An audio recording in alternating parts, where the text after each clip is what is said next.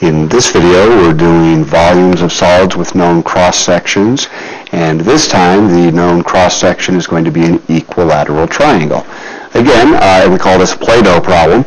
Uh, we're going to be integrating the area function, always the area function, and it's the area of an equilateral triangle.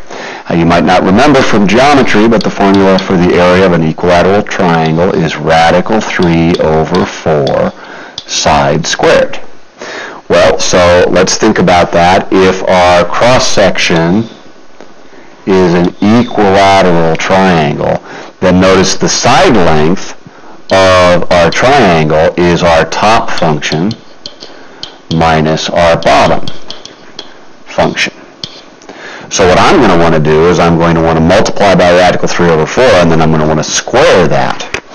So I don't like the radical 3 over 4, so I go ahead and bump that out in front of my integral sign. And my bounds, they were fortunate to give us 0 to 1 half. And I'm going to have my top function minus my bottom function squared dx. Notice again it is about the x-axis, so everything is in terms of x. My top function, well, from here, the furthest one away and the closest to the x-axis, so my top function is g of x. My bottom function is f of x. And again, it's squared because my formula for my area function is radical 3 over 4 side squared. Uh, if this was a no calculator problem, we would integrate by hand, plug in, and finish. If it's a calculator problem, you would throw it in your calculator. Be careful how you type